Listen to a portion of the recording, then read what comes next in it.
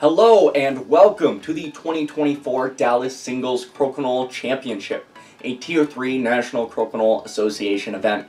I am particularly excited for this tournament because there are tons of great players and good people from the Extra Pine Crokinole Club extensions who don't often get to compete in NCA sanctioned events. However, with new Tier 2 and 3 events around the globe, it gives a lot of these players an opportunity to get their stake in the standings. So with that, let's get into it.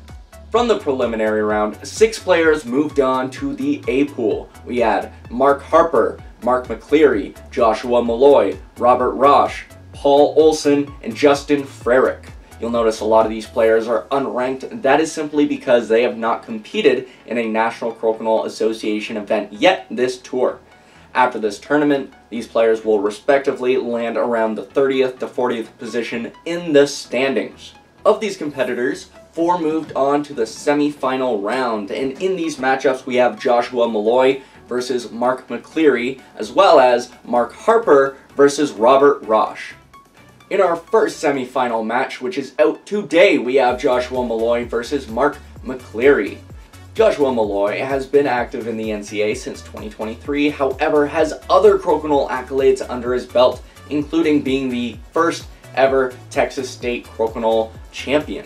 He placed 10th in the most recent US Open doubles alongside Justin Frerick and placed 12th in the Extra Pint Crokinole Club singles tournament.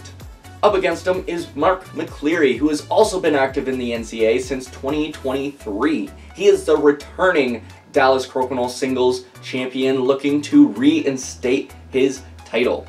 He also competed in the World Crokinole Championships in 2023, placing 12th in doubles alongside Ian Witt and placing 27th in the singles competitive division. This matchup is sure to be a doozy and you can watch that match now on our channel.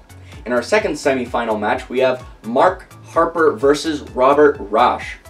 Taking a closer look at Mark Harper, he is from the Greater Kansas City Crokinole Club, the only competitor in the semifinals not from the Dallas or Houston extensions. He competed at the World Crokinole Championships this year and placed fourth in recreational doubles, which has lots of heavy hitters, so certainly not an easy feat. He is also the champion of the Greater Kansas City Crokinole Club Championship that happened in June. With lots of accolades under his belt, he is looking for a win at this tournament.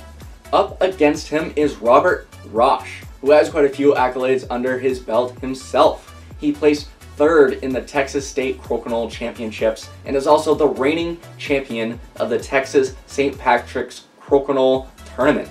He has also competed in a few NCA events, including the Elmira Winter Classic, which draws in lots of top competition, as well as the 2024 US Open. This second semifinal match will be out this Thursday, August 22nd at 2 p.m. Eastern Time. Tune into both these semifinal matches and see who moves on to the finals match of the Dallas Singles Crokinole Championship, which will be out Saturday, August 24th at 1 p.m. Eastern Time.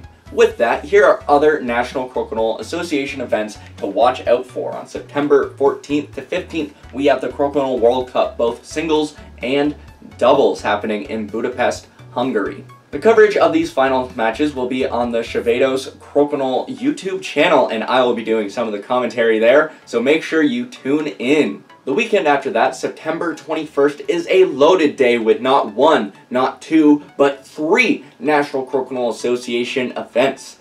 First, we have the Belleville Crokinole Championships happening in Belleville, Ontario. This is a Tier 1 singles event. You can tune in to Tracey Boards to watch the coverage of this tournament. Secondly, we have the Brooklyn Crokinole Championships, which is a Tier 2 doubles tournament happening in Brooklyn, New York, also September 21st. Finally, recently announced, we have the Greater Kansas City Crokinole Classic, a Tier 3 singles tournament happening in Blue Springs, Missouri.